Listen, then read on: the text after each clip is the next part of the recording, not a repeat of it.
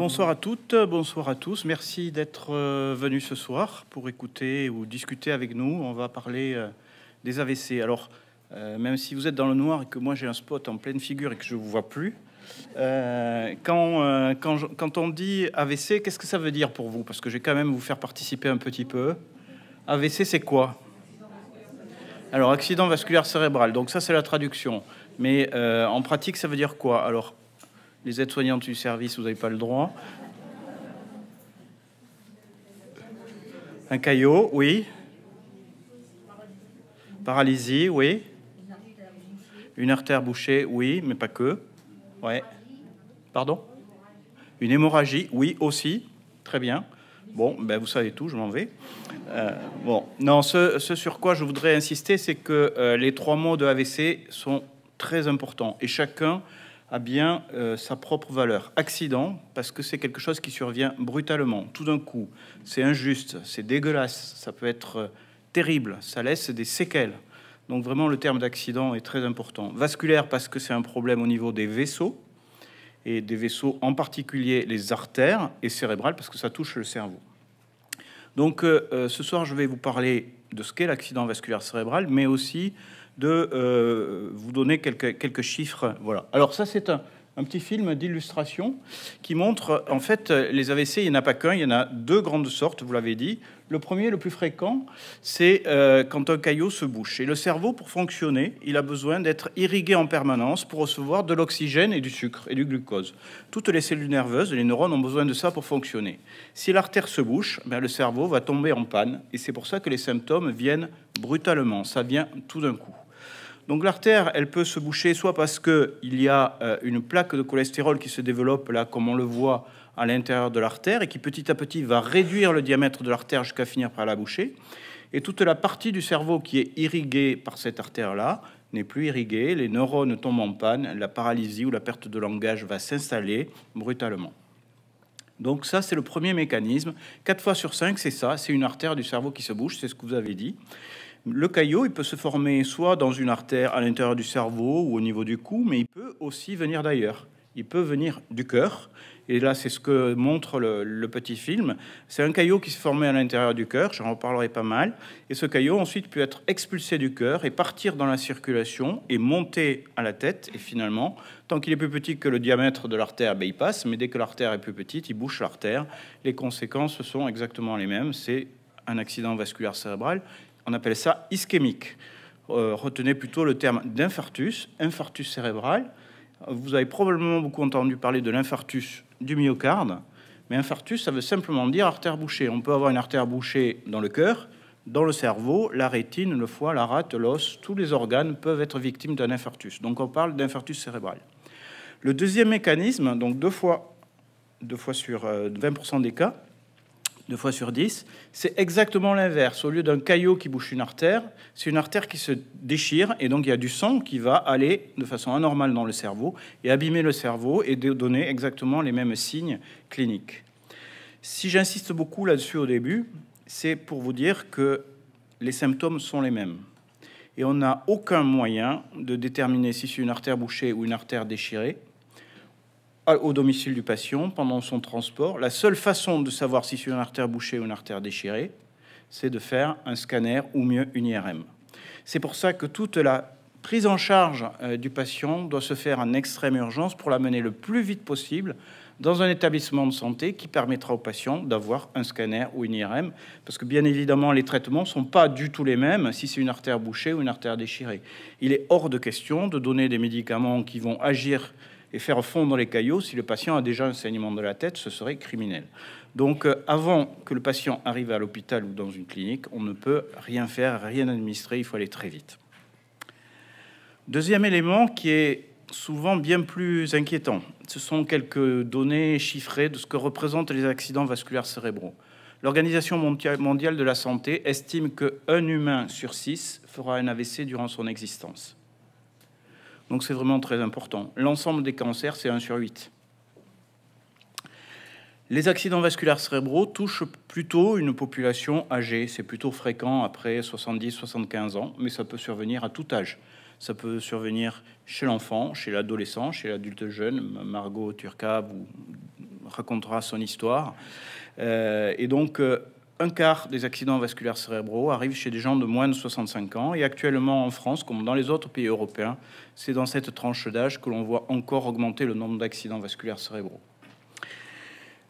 Les femmes sont un peu plus touchées que les hommes, mais ça c'est lié simplement au vieillissement de la population et dans les tranches d'âge très élevées où les AVC sont très fréquents, ben, il y a plus de femmes que d'hommes. Voilà pourquoi il y a plus euh, de femmes touchées. Et avoir fait un accident vasculaire cérébral n'empêche malheureusement pas d'en faire d'autres par l'avenir. Hein. Le risque de récidive est de l'ordre de 20% euh, à l'heure actuelle à 5 ans. Ce sont souvent des personnes qui, au fil du temps, oublient de prendre les médicaments qu'on a donnés après le premier accident vasculaire cérébral pour éviter qu'il y ait des récidives. Donc c'est très important de ne pas arrêter les traitements de prévention de rechute. Si on s'intéresse à la Nouvelle-Aquitaine, une petite carte avec des chiffres, alors ces chiffres-là, c'est le nombre de patients hospitalisés pour un AVC par an en 2019 dans les différents départements de Nouvelle-Aquitaine. Les chiffres représentent les patients hospitalisés, uniquement cela. Et si on rapporte euh, le, nombre de patients qui ont fait des AVC à la population, il n'y a pas de très grosse disparité entre départements. Par contre, si je vous affiche la carte de mortalité, l'accident vasculaire cérébral peut tuer, eh ben, pour ceux qui savent faire des, règles de 3, on se rend compte assez rapidement qu'il y a un taux de mortalité qui est plus élevé dans les départements les plus ruraux, et notamment la Creuse et la, et, Corrèze. La moyenne de, de, décès à trois semaines après un accident vasculaire cérébral est de l'ordre de 10% à l'heure actuelle euh, en France, ce qui est quand même une maladie redoutable. Donc elle est fréquente, elle peut tuer les gens et surtout, un tiers des patients survivants gardent des séquelles invalidantes dans la vie de tous les jours et nécessitent d'être aidés. Donc ça fait vraiment tout le poids de cette maladie. Et je pense que beaucoup d'entre vous savent de quoi je veux parler, puisque on a tous probablement dans notre famille ou parmi nos proches quelqu'un qui a fait un AVC. Donc ça, je l'ai dit, hein, deux par heure à Nouvelle-Aquitaine, donc on va passer un peu plus d'une heure euh, ensemble. Ben, il y aura eu en Nouvelle-Aquitaine au moins deux, AVC. Un sur trois va garder des séquelles, et c'est la première cause de mortalité euh, pour, euh, pour les femmes notamment. Mais on peut agir, et c'est pour ça que je suis là. C'est pas pour vous faire peur, c'est parce que on a, nous médecins, on sait quelles sont les cibles sur lesquelles on peut agir au niveau de la population pour essayer de limiter le nombre d'accidents vasculaires cérébraux qui surviennent. Sur l'âge, on n'y peut rien mais on vieillit en fonction de ce que l'on a été avant. Hein. On vieillit plus ou moins bien en fonction euh, de euh, la prise de conscience de notre état de santé tout au long de la vie. Là, c'est extrait d'une publication, grande publication internationale hein, du Lancet. Vous en avez peut-être entendu parler au moment de, de, la crise Covid. On a beaucoup parlé des grandes revues euh, de médecine. Et là, cette revue s'est attachée à regarder dans le monde entier quels étaient les facteurs prédisposant à la survenue d'un accident vasculaire cérébral et les a classés région par région. Donc euh, si euh, on regarde, euh, est-ce que je vais avoir la souris? Non, j'ai pas la souris. Donc au global, ben, le premier facteur de risque, ce qui favorise la survenue d'un accident vasculaire cérébral, c'est l'hypertension artérielle. Trop de pression dans les artères. Alors trop de pression dans un tuyau expose le tuyau à se déchirer. Vous mettez trop de pression dans le tuyau d'arrosage du jardin, il va éclater. Ok, l'hypertension artérielle, trop de pression dans les artères, expose au risque de saignement, mais je vous ai dit que l'hémorragie ne représente que 20% de l'ensemble des AVC. Et comment expliquer que l'on retrouve l'hypertension artérielle chez 80% de l'ensemble des patients, et notamment ceux qui ont fait, eu un infarctus cérébral, c'est-à-dire une artère bouchée? Parce que les artères, ce pas des simples tuyaux d'arrosage du jardin. C'est beaucoup plus intelligent que ça. Quand l'artère est soumise à trop de pression, pour justement éviter d'éclater, elle va épaissir sa paroi. Et l'hypertension va faire que les parois supplémentaires vont se rajouter non pas à l'extérieur, mais vers l'intérieur de l'artère. Ce qui fait que petit à petit, le diamètre utile de l'artère, celui dans lequel le sang circule, va se réduire et va occasionner l'occlusion des artères.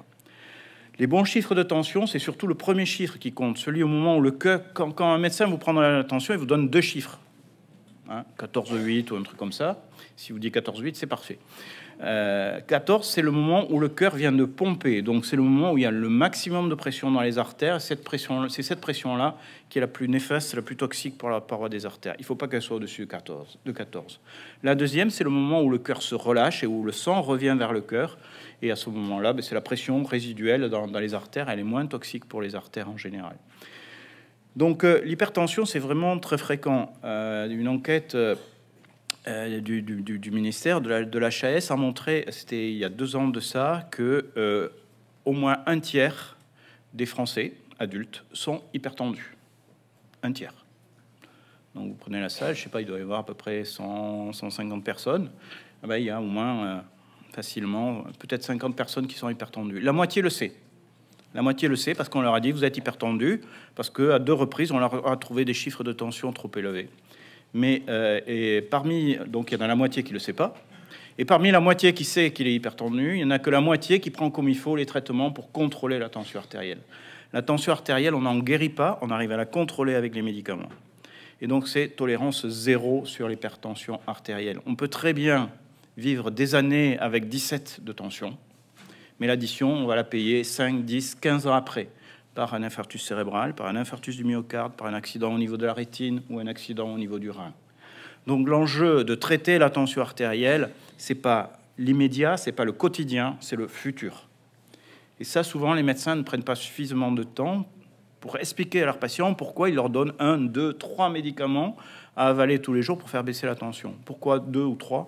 C'est qu'avec un médicament, en général, on fait baisser la tension de un point. Donc s'il faut passer de 17 à 14, bah, il va falloir donner en général trois médicaments. Souvent, ils sont associés dans le même comprimé. Donc l'hypertension artérielle, 80% des AVC qui sont hospitalisés à Pellegrin sont hypertendus. Donc c'est vraiment notre cible principale, notre bête noire. Et c'est pour ça que l'association qui fait un tour de Nouvelle-Aquitaine distribue gratuitement des appareils à tension. Euh, on sera place de la Victoire vendredi euh, à partir de 11h. Si vous voulez passer, vous pourrez avoir peut-être, s'il en reste, un appareil à tension. Le deuxième facteur de risque, c'est euh, l'indice de masse corporelle, c'est-à-dire être un peu trop gros, pas forcément très gros, mais un peu trop et pendant longtemps. Ça aussi, ça abîme les vaisseaux à la longue. Le troisième, c'est une consommation insuffisante de fruits et de légumes. Et le cinquième, c'est euh, la prise de la consommation de tabac. Donc, euh, si vous voyez ce quintet des facteurs de risque de l'accident vasculaire cérébral, le premier est contrôlable et les quatre autres sont liés à notre mode de vie, à notre hygiène de vie au quotidien. Je ne dis pas que tous les patients qui font des AVC ont des facteurs de risque. Hein. On peut faire des AVC pour tout un tas d'autres choses, mais à l'échelon d'une population, c'est vraiment ça la cible sur laquelle il faut que, que l'on agisse, et c'est pour ça que j'insiste beaucoup sur l'hypertension artérielle.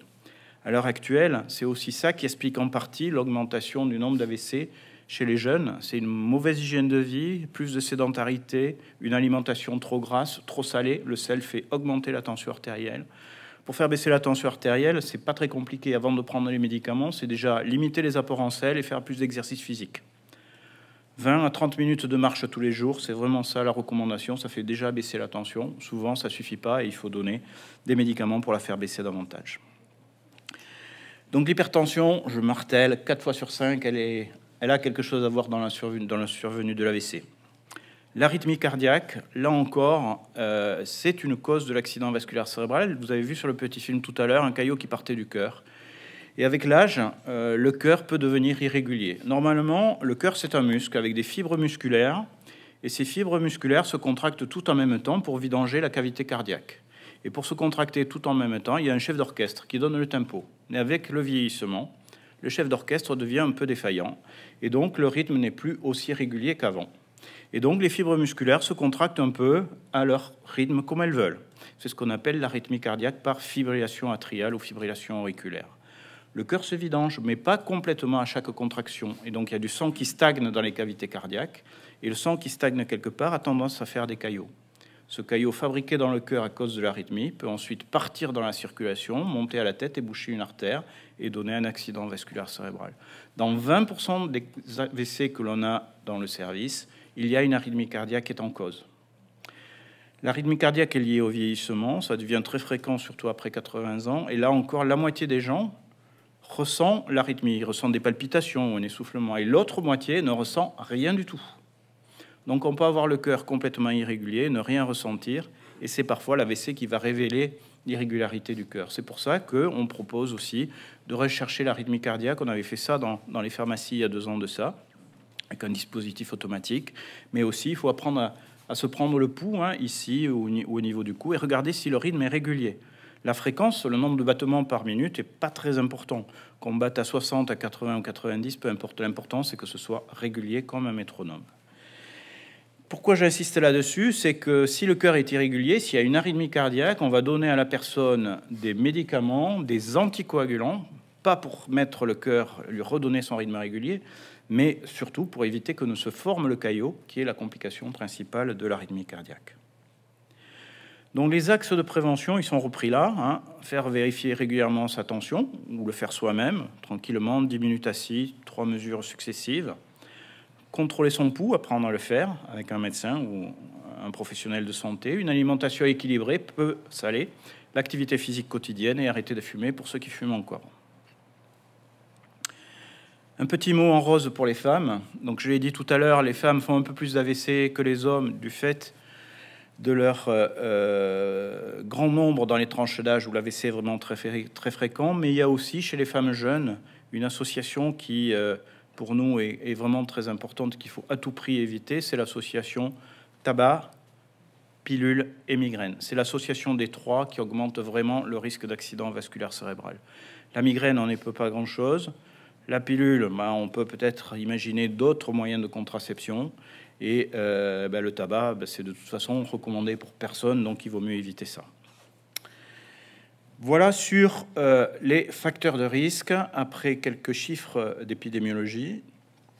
Comment essayer de l'éviter Et maintenant, on va en arriver aux signes d'alerte, c'est-à-dire comment repérer que quelqu'un fait un accident vasculaire cérébral. Alors, je ne vais pas vous faire un cours de neurologie, parce que les symptômes et les signes neurologiques de l'AVC, il y en a plus d'une centaine mais les trois principaux sont ceux qui sont écrits là.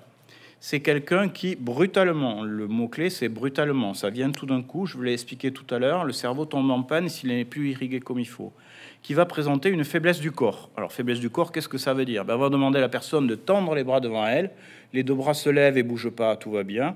Si un bras se lève pas du tout, c'est qu'il est paralysé, c'est qu'il y a un truc qui va pas, et ou alors on peut avoir simplement un fléchissement dans les 10 secondes de, la main. Et dans ce cas-là, si c'est venu tout d'un coup, c'est peut-être un AVC. Il faut appeler le SAMU sans tarder.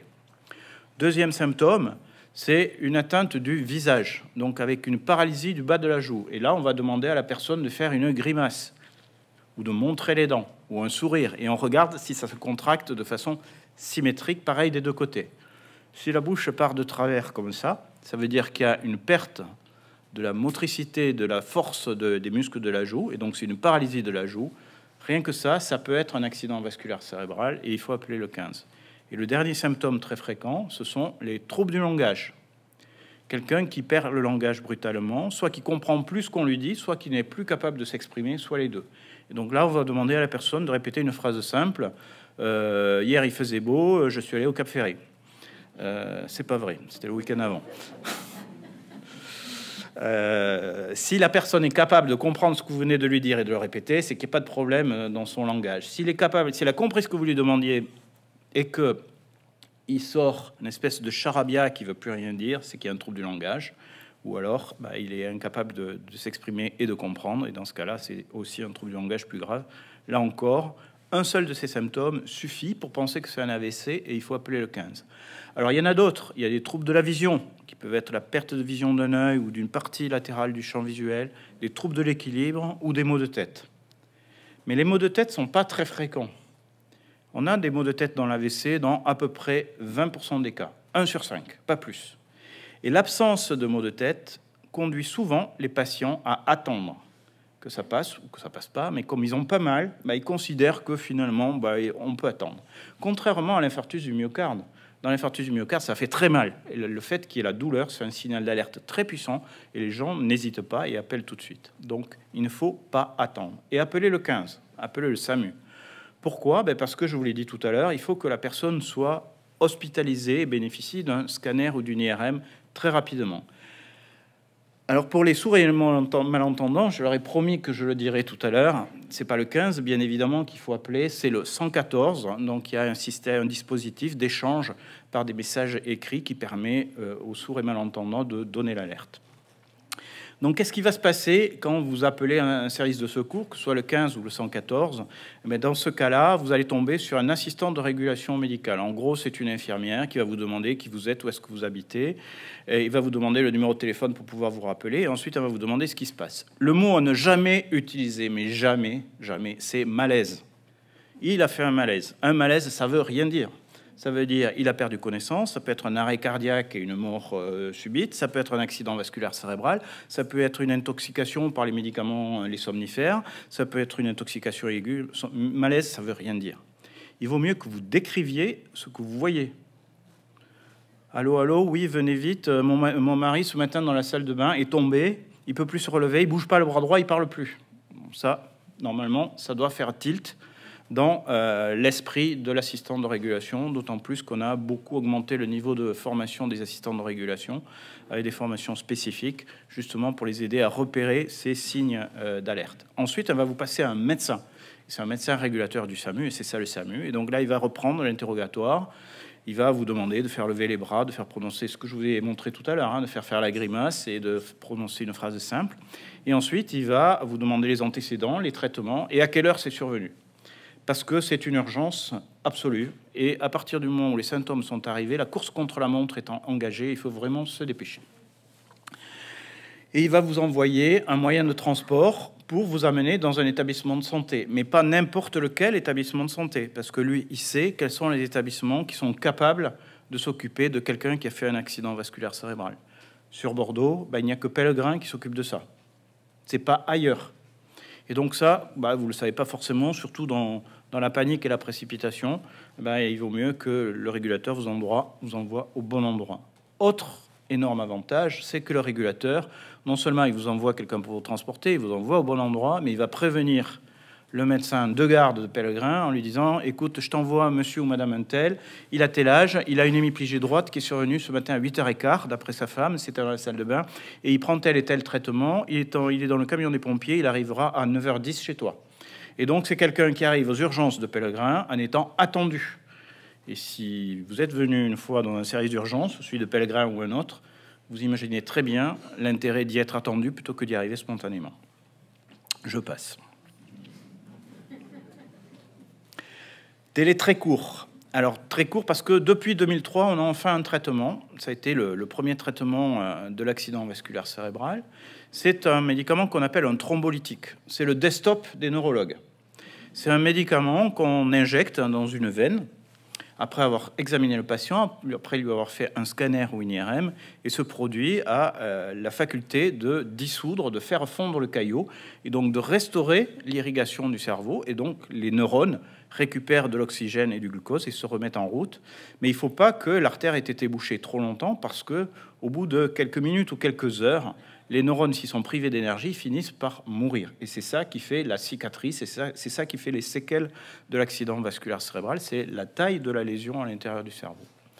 On a jusqu'à 4h30 au maximum pour que le patient arrive de l'endroit où il a fait l'AVC, qu'il soit transporté au bon endroit, qu'il ait vu le bon médecin, qu'il ait eu le bon scanner ou la bonne IRM, que tout le monde soit en place et qu'on puisse lui administrer le traitement. Donc c'est vraiment une organisation qui ne souffre aucune faillite, aucune défaillance pour être efficace. À l'heure actuelle, euh, on arrive avec ce médicament-là à déboucher l'artère en gros une fois sur trois, ce qui est déjà un très bon résultat parce qu'avant 2003, on n'avait rien du tout. Donc premier élément, c'est la thrombolyse, uniquement dans des centres spécialisés, et c'est un traitement qui ne peut être prescrit que par un neurologue. Donc, je disais qu'il fallait que le patient rencontre le bon médecin, mais c'est forcément un neurologue.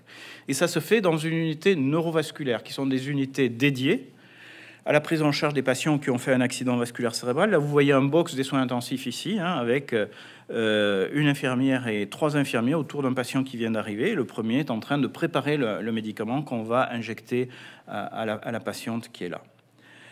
Euh,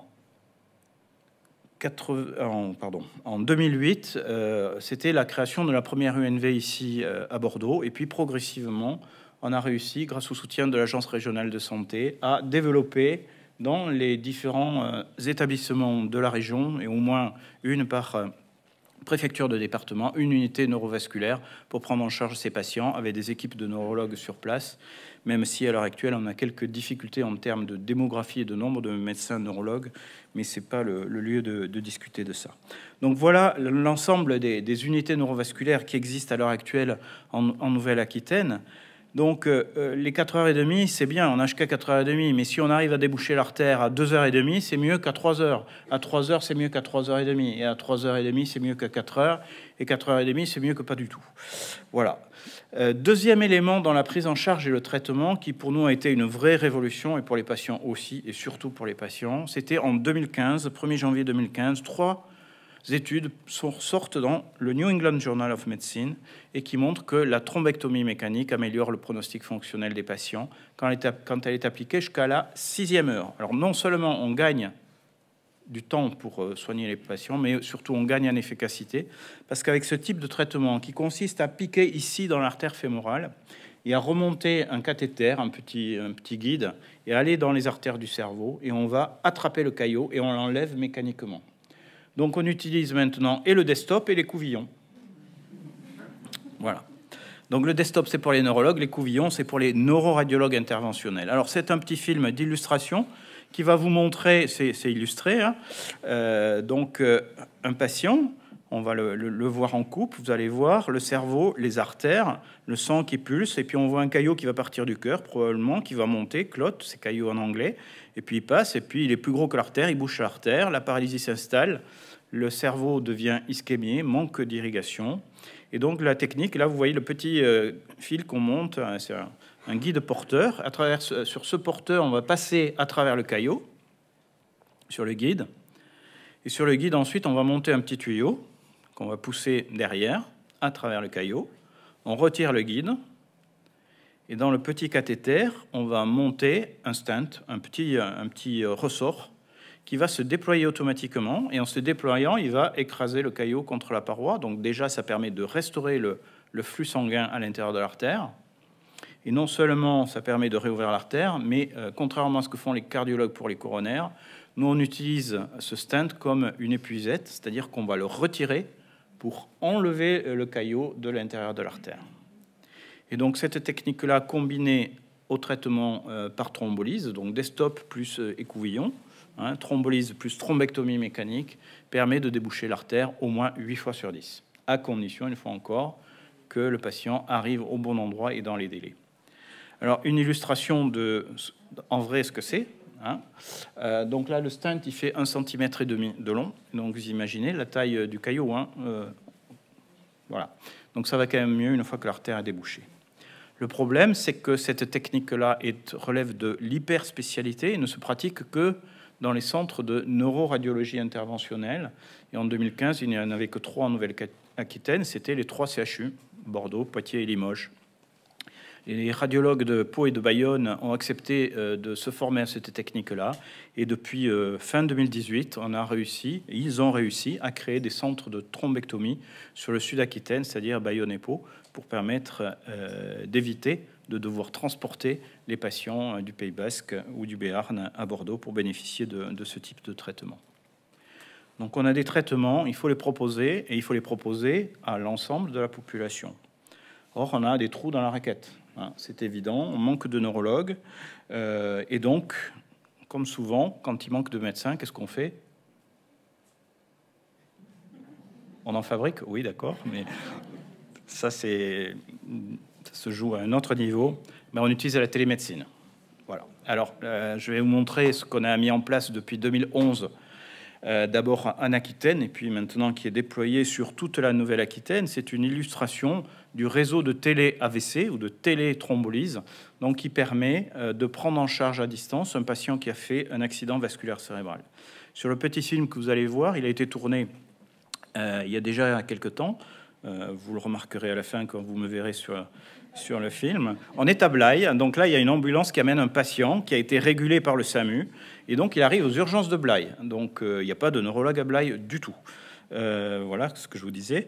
Euh, voilà, donc Simeon Siani, qui est le chef de service des urgences de Blaye, est au chevet du patient, l'interroge, et moi je suis dans un bureau à Pellegrin, et je commande une caméra qui est au plafond dans le box des urgences. J'ai tout un tas d'écrans devant moi qui vont me permettre, avec l'aide de mon collègue urgentiste, d'examiner à distance le patient. Je peux même zoomer pour voir la taille de sa pupille. Hein. La caméra est vraiment très, très performante. Donc on va euh, confirmer le diagnostic clinique d'accident vasculaire cérébral. Le patient va ensuite aller au scanner ou à l'IRM. À Blaise, c'est un scanner.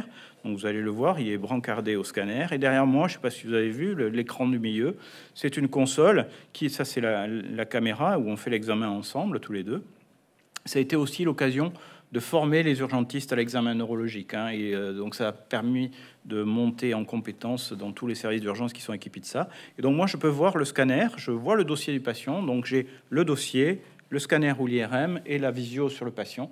Donc j'ai tous les éléments pour prendre une décision d'administrer le traitement thrombolytique, le médicament, à Blaye, plutôt que de dire on fait tous les examens, tu me l'envoies avec une ambulance et une fois arrivé à Bordeaux, ben, on lui fera le traitement. Donc le patient reçoit le traitement. Ça a permis donc de doubler le nombre de patients qui étaient euh, traités par, euh, par thrombolyse. Et donc ensuite, ben, le patient est transporté à Bordeaux si c'est nécessaire, soit pour une thrombectomie, soit pour la prise en charge à l'unité neurovasculaire. J'accélère un peu. Voilà. Et donc le réseau de télémédecine à l'heure actuelle, c'est ça. Et donc on a déployé à peu près euh, partout euh, le réseau de, de télé-AVC. Et à l'heure actuelle, on l'utilise de plus en plus, y compris euh, pour seconder des collègues dans des unités neurovasculaires. C'est en particulier vrai à Périgueux. depuis janvier 2020, à Périgueux et sur l'ensemble de la Dordogne, depuis janvier 2020, il n'était que trois neurologues. Et à partir du 1er novembre, il n'en restera qu'un. Donc comment voulez-vous demander à un neurologue à Périgueux d'assumer euh, la charge d'une garde euh, tous les jours pour répondre aux urgences? Parce que les AVC, ça arrive le jour, la nuit, le week-end, le 1er et le 11 novembre. Donc euh, depuis janvier 2020, tous les AVC de la Dordogne à la nuit sont pris en charge par le neurologue de garde du CHU de Bordeaux en télé, en télé AVC. Voilà tout ce que je voulais vous dire. Alors, je vais euh, maintenant euh, laisser. Euh, je vais finir avec ça. Donc, c'est quand même une petite synthèse avant de laisser la, parole à Margot Turca. Chaque minute compte. Hein. Retenez les trois signes principaux bouche de travers, faiblesse du bras ou de la jambe, du mal à parler. Si ça s'est installé brutalement, vous appelez le SAMU, le 15 ou le 114, parce que nous, médecins, on a des choses à proposer en termes de traitement. Surveillez votre tension, améliorez votre hygiène de vie, apprenez, à vous prendre le pouls, vérifiez qu'il est régulier. Et puis, si vous voulez, vous pouvez passer vendredi, place de la Victoire, euh, rencontrer l'équipe de l'association AVC Tous Concernés, qui est présidée par Philippe Ménard, que je ne remercierai jamais assez pour euh, toutes euh, ces actions qui mènent destinées à, aider à porter le message de la prévention au grand public des accidents vasculaires cérébraux. Voilà, donc je, passe maintenant la parole tout de suite. Non, les questions, c'est à la fin, je regrette. C'est convenu comme ça pour des questions de, vidéo, si j'ai bien compris. Je passe la parole à Margot Turca, qui va euh, vous présenter son petit AVC. Mais il n'y a jamais de petit AVC. C'est parfois un terme qu'on utilise, nous, à tort. Et souvent, ce que l'on veut dire là, c'est que la lésion au niveau du cerveau est pas très grosse, mais elle peut malgré tout avoir des conséquences euh, majeures.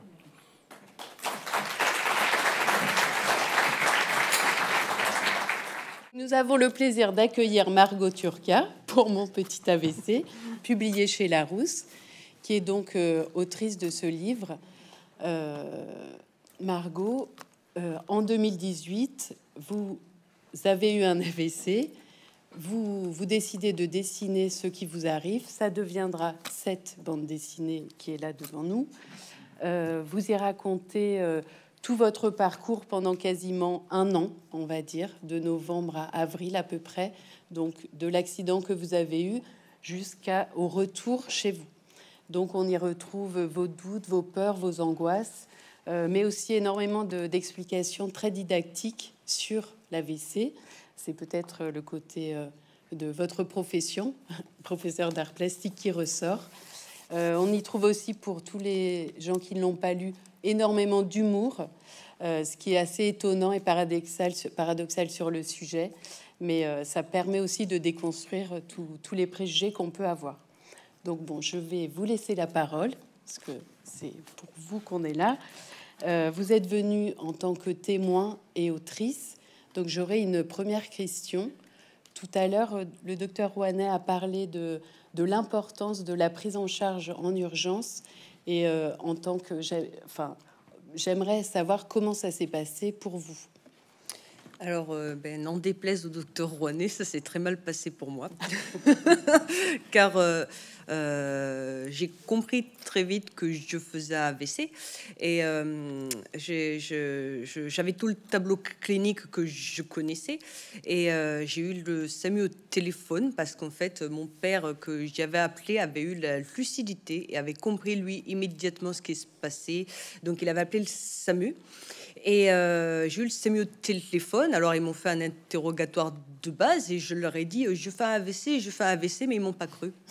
Euh, ils ont mis ça sur le compte d'une migraine avec Cora parce que bah, parce que j'avais 33 ans, parce que j'avais eu un postpartum difficile, euh, parce que j'avais aucun facteur de risque. Hein, vous, comme vous le voyez, je suis en surpoids total. Hein. Euh, voilà, euh, donc voilà, j'avais aucun facteur de risque, donc ils ont mis ça sur le compte de migraine et, et du coup ils m'ont aiguillé vers SOS médecin. Et le docteur des SOS médecins qui est pourtant venu chez moi, qui m'a ausculté et qui a tout vu, a conclu migraine avec aura. Et heureusement que mon père était là et a insisté et a dit non, non, euh, IRM en urgence, euh, c'est pas une migraine. Sur mes quatre enfants, il y en a trois qui sont migraineux et elle, elle l'est pas. Donc, euh, c'est pas une migraine. Et euh, sa lucidité, son insistance ben, m'a sauvé la vie parce que j'y serai toujours hein, chez moi hein, à l'heure actuelle. Voilà. Donc, en fait, moi, j'ai perdu tout le temps qu'il faut pas perdre. parce qu'on m'a pas cru. Et du coup, ben moi, les traitements d'urgence, euh, je me suis assise dessus. Quoi. Donc, euh, euh, je, à 33 ans, ben, je suis devenue handicapée avec séquelles. Et comme vous l'entendez, mon séquelle principale, ben, c'est la phasite, donc trouble, de, trouble du langage. Et à côté, j'ai aussi un trouble de, de le parole. Vous, vous justement, on, on parle de tout ce qui est rôle des soignants. Vous en parlez énormément dans votre, dans votre bande dessinée, euh, plutôt en positif.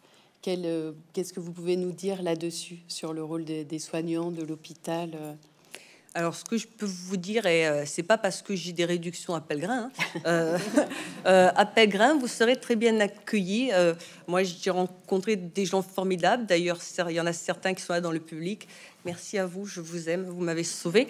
Euh, et euh, j'ai été hyper bien prise en charge une fois que je suis arrivée à l'EUNV. Et, euh, et, et, franchement, j'ai été hyper bien accompagnée dans la maladie. Avec, on m'a laissé beaucoup de chance, beaucoup d'espoir. Je suis toujours en rééducation et, et moi, ma vie, elle est partagée entre mon quotidien et la rééducation, c'est des gens qui font partie aujourd'hui de ma vie depuis trois ans. Donc, euh, je les vois tout le temps et je leur dois tout. Et, euh, j'ai vraiment rencontré des gens formidables dans ce parcours de vie que la vie m'aurait jamais offert de rencontrer. D'ailleurs, même, euh, même tous les gens que j'ai côtoyés en tant que patient à l'hôpital, ben, j'ai rencontré des gens extraordinaires. Euh, euh, et, normalement, dans la vie d'une jeune femme de 33 ans, on rencontre pas ces gens et on n'imagine pas qu'on va pouvoir se lier d'amitié avec quelqu'un qui a 80 ans, ben, si c'est possible. Et euh, finalement, j'ai eu du bol dans cette expérience de vie. Vous êtes justement vraiment à, à l'opposé de ce qu'on imagine comme victime d'un AVC. C'est un peu l'intervention que vous avez fait également.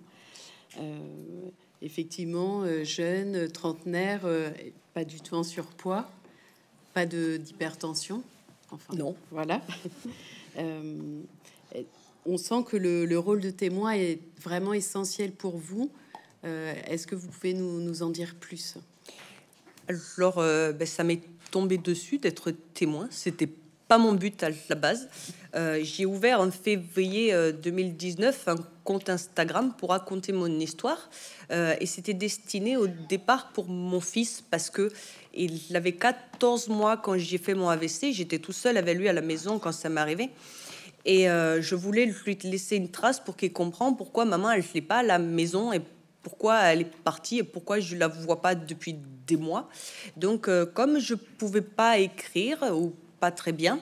Euh, j'ai décidé de le dessiner et puis j'ai mis ça sur les réseaux sociaux et ça devait rester un peu en vase clos euh, avec, euh, avec euh, ma famille, mes amis. Et puis finalement, il y a eu un boom. J'ai été repérée sur Instagram. Il y a plein de gens qui ont fait des AVC, qui ont commencé à m'écrire, à me contacter, à vouloir échanger et discuter de ça. Alors des gens de tout âge, hein, des parents dont les, les enfants ont fait un AVC, jusqu'à jusqu'à des personnes âgées.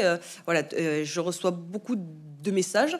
Euh, et, en fait, euh, je suis devenue un peu leur relais, alors que c'était absolument pas mon, mon, mon propos au départ. Mais du coup, ils m'ont malgré tout confier cette mission. Donc je discute beaucoup avec eux en précisant toujours que moi je suis professeur d'art plastique, je ne suis pas médecin. Donc euh, vous pouvez me poser une question d'histoire de l'art, c'est mon domaine. Mais euh, la neuro, euh, on est à des années de lumière de ce que je sais faire d'habitude. Et donc voilà, donc moi je suis pas médecin, donc je, je, je donne aucun conseil de cet ordre-là, mais je discute du quotidien et de ce que c'est en particulier de devenir aphasique comme moi euh, et le retentissement que ça peut avoir dans un vie quand on a 30, 40 ans euh, et de se retrouver euh, handicapé. Et du coup, j'ai reçu un soir un mail des éditions Larousse qui m'ont dit on vous veut. Bon, ben, quand on reçoit un mail de Larousse qui dit on vous veut, on refuse pas. Hein, ça aurait été un peu idiot de ma part. Et je me suis embarquée dans ce projet titanesque euh, de devoir euh, écrire euh, ce, livre qui fait 2500 dessins, tous faits sur un petit bloc-notes, donc à la main. Voilà. Et du coup, ben, ça a donné le livre que vous avez sous les yeux. Vous parlez de, tous les gens qui vous suivent sur Instagram, de tous vos followers, comme on dit. Est-ce que vous pensez que le, sujet de, l'AVC n'est pas assez abordé dans les médias ou mal abordé? Alors moi, je trouve que c'est assez regrettable aujourd'hui en France, à l'heure actuelle, que euh, on parle de l'AVC par le biais d'assauts et qu'on leur mette pas beaucoup plus de lumière dessus. Euh, alors il y a euh, France AVC, il y a AVC tous concernés, et, et je trouve qu'il n'y a pas assez de relais médiatiques puissants. Euh, on est capable de le faire et de consacrer un mois entier au cancer du sein, et c'est très bien, hein, vraiment, ça, moi, je suis ravie que ça se fasse. Mais pour nous, on a une pauvre petite journée mondiale de l'AVC qui tombe à la fin d'octobre rose. Tout le monde nous oublie ou nous noie dans la masse. L'année dernière, le confinement est tombé ce jour-là, donc euh, on s'est assis dessus, personne à parler de nous. Et voilà. Et du coup, euh, on est on est un peu oublié. Et, euh, et je pense qu'il y a un gros souci, c'est que dans le tête des gens, le AVC, c'est le vieux monsieur alcoolique, sédentaire, euh, qui boit, euh, voilà, et que du coup, ben, on s'intéresse pas grand monde et qu'on ne sait pas que c'est la première cause de mortalité féminine et que et que et qu'il y a énormément de, de, jeunes AVC.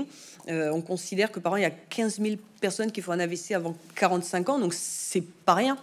Euh, et, voilà, je trouve qu'on est un peu oublié parce que quand on fait un AVC entre 20, 30, 40, 40 ans, euh, ben, toute notre vie a impacté. On peut plus travailler. Euh, si on a des enfants, c'est compliqué. Si on n'en a pas, ça va devenir compliqué. Enfin voilà. Et, et je trouve qu'on parle pas assez de nous et qu'on est effacé sur ce sujet-là. Alors je sais pas pourquoi. Est-ce que parce que ça fait peur, parce que ça touche à la mortalité, parce que les gens s'imaginent qu'on va être foudroyé brutalement par un AVC Je sais pas, mais toujours est-il que je trouve qu'il n'y a pas assez de relais. Et moi, quand ça m'est arrivé, ben, je trouvais qu'il y avait très peu d'informations sur le sujet et très peu de gens qui, euh, qui savaient en parler précisément. Et c'est vrai que les deux recherches que j'avais, ben, c'était France AVC, AVC tous concernés. Mais par exemple, il n'y avait rien sur les jeunes comme moi et je me trouvais très, très isolée. Donc, avec vous, je pense que ça va changer maintenant. Vous pensez que le regard euh, change un petit peu justement sur euh, est en train de changer ou c'est très très très très lent? Je pense que ça va être très long et euh, quand on est dans mon situation et qu'on parle pas bien, euh, très souvent, les gens euh, ont un mépris total pour les personnes qui parlent pas bien. De suite, on nous colle l'image qu'on est euh, stupide. Et moi, très régulièrement, quand je parle, je sens bien le regard des gens, il change. Alors, soit on se dit, elle est anglaise, Et là, quand on me dit euh, vous êtes né où avec, Je dis Bordeaux. Généralement, ils sont un petit peu choqués. Et, alors, c'est un pseudo accent neurologique. Moi, c'est la chance. Je, il est un peu anglais. On me dit ça fait un peu de Jane Birkin. J'ai des copines, elles ont des, des accents allemands très prononcés. C'est quand même un poil moins chic. Mais bon. Et, euh, et, voilà, et moi, ce qui m'énerve, c'est ce regard des gens qui est assez brutal. Moi, je donne un exemple euh, que j'ai trouvé un fois très, très violent. J'étais au jardin public avec mon petit garçon, il faisait du toboggan, et il descend du toboggan, et puis il me dit quelque chose, euh, il baragouinait, et je lui réponds. Et j'étais assise sur le banc, j'avais ma canne, et, et la maman à côté de moi m'a regardé de la tête aux pieds, elle a pris ses affaires, elle s'est levée, et elle s'est mise sur le banc d'à côté. Et là, je me suis dit, ok, ben, il y a du boulot à faire hein, pour, euh, pour, sensibiliser les gens. Et ça m'arrive régulièrement dans les magasins. Euh, dans le livre, je raconte quand je dois retirer un, colis dans un magasin de, prêt-à-porter réputé pour l'amabilité de ses vendeurs. Euh, et qui m'ont envoyé promener parce que sur le moment, j'ai bugué. Il y avait du bruit, il y avait de la lumière et, et j'arrivais plus à sortir mon nom de famille. Et j'ai bien senti que le gars en face de moi, il se disait Non, mais qu'est-ce que c'est que cette débile? Et, je, je l'embêtais clairement, quoi. Et voilà, et ça, c'est euh, assez embêtant de devoir se, justifier en permanence. Ça m'est arrivé la semaine dernière en appelant à la mairie. Euh, la dame m'a agressé verbalement. Euh, et, quand son collègue m'a rappelé, j'ai été obligée de lui dire écoutez, excusez-moi pour votre collègue, mais je suis aphasique, j'ai fait un AVC, j'ai fait du mieux que je pouvais, donc merci. quoi. Et, être toujours comme ça en train de se justifier, c'est pénible. Vous avez autant d'humour que dans votre livre, donc euh, tous les gens qui n'ont pas lu ce livre, je le conseille vraiment vivement. Euh, je vous remercie pour votre euh, intervention.